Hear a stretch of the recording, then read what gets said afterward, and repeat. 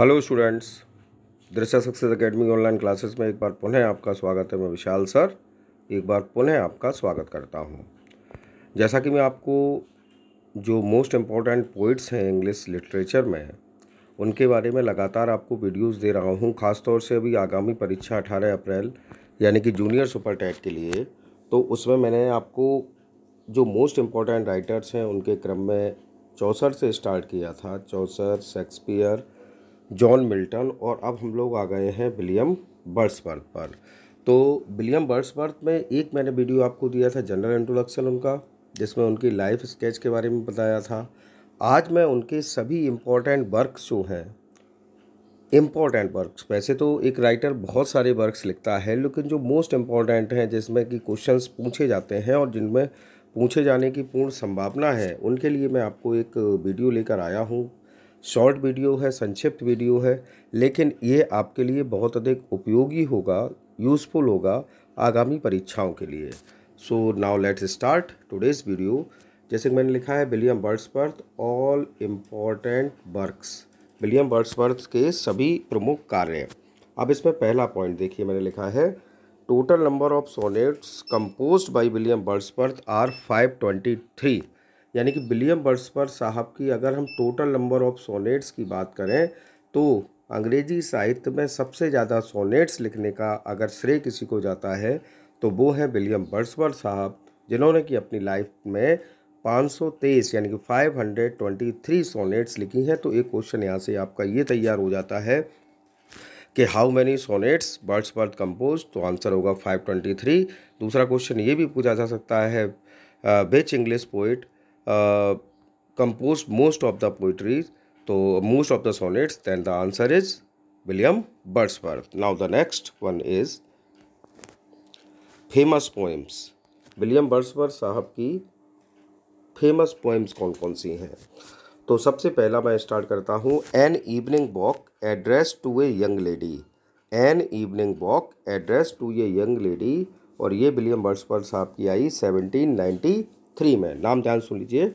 An evening walk address to a young lady seventeen ninety three उसके बाद दूसरी आती है डिस्क्रिप्टिव स्केचेस कौन सी आती है साहब? डिस्क्रिप्टिव स्केचेस और ये भी कब आई? सेवनटीन नाइन्टी थ्री में। उसके बाद थर्ड नंबर पे आता है आपका। Laodamia Laodamia L A O D A M I A Laodamia ये आती है आपकी एटीन फिफ्टीन में, अठारह सौ पंद्रह। उसके बाद आपकी नेक्स्ट है lines written above Tintern Abbey ये इनकी बहुत ही महत्वपूर्ण पोइम है। विशेष ध्यान रखिएगा, इसमें से कई क्वेश्चन आपके टीजीटी पीजीटी जो पिछली परीक्षाएँ हुई हैं, उसमें से पूछे गए हैं। और ये कब आई इनकी? 1798 में। नाम ध्यान रख लीजिए। Lines written above Tintern Abbey और मैं ये पोएम आपको पढ़ाऊँगा जब अभी इसके, ये अठारह तारीख की जो परीक्षा होगी, इसके बाद जब टीजीटी का मैं बैच स्टार्ट करूँगा टीजीटी के वीडियोस आपको दूँगा टीजीटी पीजीटी के लिए, तब मैं आपको इसको विस्तार से पढ़ाऊँगा। तो ध्यान रखिएगा, ये मोस्ट इंपॉर्टेंट है इनकी poem lines written above Tintern Abbey seventeen ninety eight now the next one is अगला आपकी आती है लिरिकल बैलेट्स कौन सी आई साहब? लिरिकल बैलेट्स लिरिकल बैलेट्स क्या है? एक पोएम का कलेक्शन है साहब, जो कि को ऑथरशिप में लिखा गया विलियम बर्ड्सवर्थ और S T Coleridge, Samuel Taylor Coleridge, दोनों ने मिलकर इस लिरिकल बैलेट्स की रचना की और इसका फ़र्स्ट जो पब्लिकेशन होता है वो 1798 में हुआ, सत्रह सौ अट्ठानवे में हुआ और ये डेट आप लोग विशेष ध्यान रखें क्योंकि लिरिकल बैलेट के पब्लिकेशन से ही अंग्रेज़ी साहित्य का एक नया युग आरंभ हुआ, जिसको हम लोग रोमांटिक एज कहते हैं। कौन सा साहब? रोमांटिक एज कहा जाता है। लिरिकल बैलेट के पब्लिकेशन के साथ ही रोमांटिक एज का आरंभ होता है और ये विलियम बर्ड्सवर्थ और एस टी कॉलेज दोनों ने मिलकर लिखी थी। Now the next one is, अगली है इनकी इंटीमेशंस ऑफ़ इमोर्टिलिटी जिन स्टूडेंट्स ने एमए कर रखा है मास्टर्स किया है तो उनको पता होगा intimations of immortality poem William Wordsworth साहब की है। और इसका पूरा नाम ode on intimation of immortality है, ये एक ओड है, और ये कब आई? अठारह सौ छः में। साहब, विशेष ध्यान रखिए ode on intimation of immortality एक ऐसी पोएम है जो कि विलियम वर्ड्सवर्थ साहब की मैच्योरिटी को दर्शाती है। दिखाती है कि अगला व्यक्ति कितना ज़्यादा मैच्योर था, उसकी सोच, उसकी फ़िलोसफिकल आइडियाज़ नेचर से उसका संबंध, जो कि बहुत विस्तारित तरीके से उन्होंने इस पोइम में लिखने का काम किया है।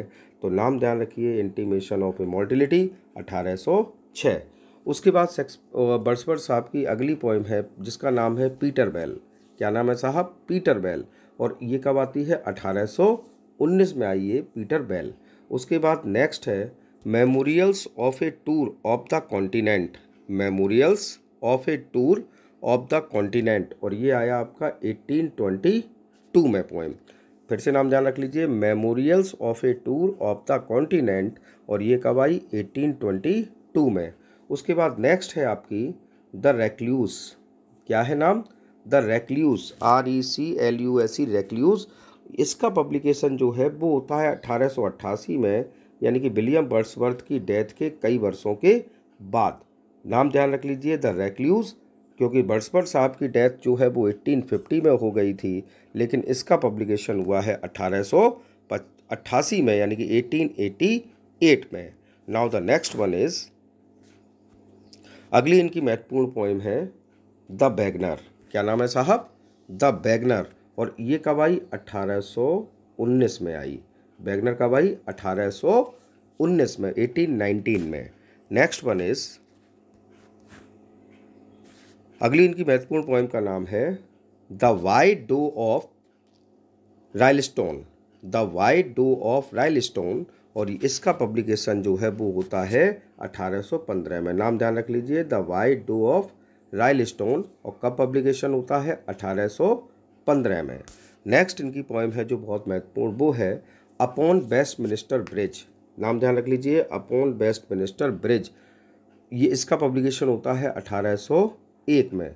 विशेष ध्यान रखिए, मैं जितनी भी ये पोएम दे रहा हूँ, आपको इनके इम्पोर्टेंट वर्क्स जो लेकर आया हूँ, आप देख लेना कि इन्हीं में से क्वेश्चन पूछे जाते हैं।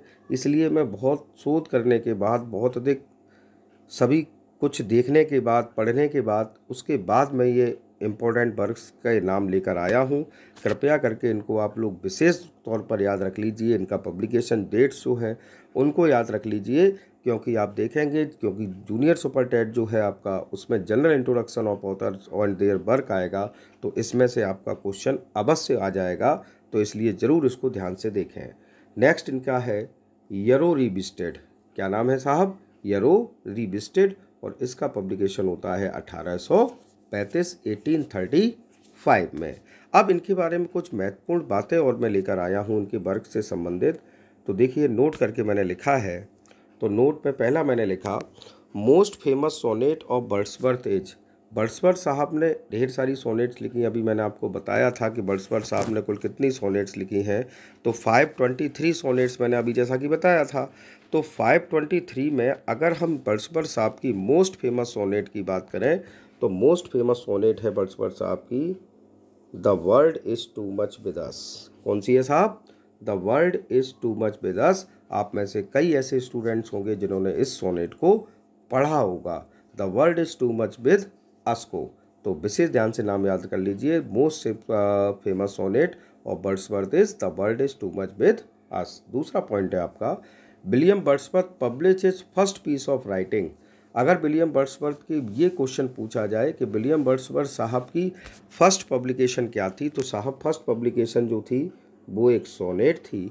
और इसका नाम क्या था? The European magazine oh sorry एक सोनेट थी जो कि कायम पब्लिश हुई थी। यूरोपियन मैगजीन में पब्लिश हुई थी जब विलियम वर्ड्सवर्थ साहब एज ए स्टूडेंट पढ़ाई कर रहे थे। तब इन्होंने एक सोनेट लिखी थी और जिसका पब्लिकेशन हुआ यूरोपियन मैगजीन में। तो ये इनका फ़र्स्ट पब्लिश्ड वर्क था। वो भी एक सोनेट थी। Now the next one is क्या विलियम बर्ड्सवर्थ साहब ने कोई ड्रामा भी लिखा है? तो देखिए, लिखा है point William Wordsworth wrote is only play only play जब ओनली शब्द लगाते हैं तो एकमात्र प्ले नाम क्या था साहब? द बॉर्डरर्स क्या नाम था? द बॉर्डर जो कि एक वर्ष ट्रेजिडी थी, यानी पोइटिक ट्रेजिडी थी, जो वर्ड्सवर्थ साहब ने सत्रह से लेकर सत्रह के बीच लिखी थी। तो फिर से नाम याद कर लीजिए विलियम बर्सबर साहब ने मात्र अपने जीवन काल में एक प्ले लिखा जिसका नाम है द बॉर्डरर्स जो कि एक बर्स ट्रेजडी है, और जो बर्सबर साहब ने 1795 से 1797 के बीच लिखी है। उसके बाद नेक्स्ट है आपका after बर्सबर death. His wife Mary published his lengthy autobiographical poem to Coleridge in 1850 do it was composed इन 1805 ध्यान से सुन लीजिए। विलियम बर्सवर्थ साहब की डेथ हो जाती है 1850 में। 1850 में उनकी डेथ के बाद उनकी जो वाइफ थी, नाम था मैरी, उन्होंने क्या किया? इनकी लेंदी ऑटोबायोग्राफिकल जो पोइम थी, उसको जा, नाम था पोएम टू कॉलेज। नाम क्या था? Poem to Coleridge. उसका पब्लिकेशन कराया 1850 में इनकी मृत्यु के बाद। हालाँकि इस पोइम की रचना विलियम बर्ड्सवर्थ साहब ने कब कर ली थी? 1805 में 1805 में। तो इनके मरने के बाद कौन सी आई पोइम पोएम टू कॉलरेज, ये क्या है इनकी? ऑटोबायोग्राफिकल पोएम है। इसको पब्लिक किसने कराया था? मैरी जी ने, इनकी वाइफ ने। और इनकी, इसकी जो आप कहें कि मैन्यू स्क्रिप्ट उन्होंने तैयार कब कर ली थी? 1805 में। Now the next one is William Wordsworth S T Coleridge and Robert Southey known as lake poets मैंने कल जब विलियम बर्ड्सबर्थ साहब के बारे में आपको बताया था, तब भी मैंने आपको बताया था कि विलियम बर्ड्सबर्थ साहब को लेक पोइट्स कहा जाता है, क्योंकि इनका जन्म लेक डिस्ट्रिक्ट इंग्लैंड में हुआ था। तो अकेले विलियम बर्ड्सवर्थ नहीं, बल्कि तीन अंग्रेज़ी के महान पोइट्स ऐसे हैं, जिनको लेक पोइट्स कहा जाता है। William Wordsworth S T Coleridge और रॉबर्ट सऊदे तो ये महत्वपूर्ण इनके वर्क्स जो हैं, वो मैं लेकर आया हूँ इनके फैक्ट्स के साथ। मुझे आशा है कि मेरे पिछले वीडियोस की तरह आपको मेरा ये वीडियो भी पसंद आया होगा और ये बहुत ज़्यादा हेल्पफुल होगा आपकी आगामी परीक्षा जूनियर सुपर टेट के लिए। इसलिए इसको ज़रूर अंत तक देखें, नोट्स बनाएँ और अगर यदि आपको मेरा वीडियो पसंद आया हो तो प्लीज़ लाइक, कमेंट और शेयर ज़रूर करें और अधिक से अधिक लोगों तक मेरे चैनल को पहुंचाएँ। और यदि आपने अब तक मेरा चैनल सब्सक्राइब नहीं किया है तो प्लीज़ सब्सक्राइब माई चैनल और सब्सक्राइब करते समय बेल आइकन बटन ज़रूर दबाएँ, जिससे कि मेरा नोटिफिकेशन सबसे पहले आपके पास तक पहुँच सके। Have a good day.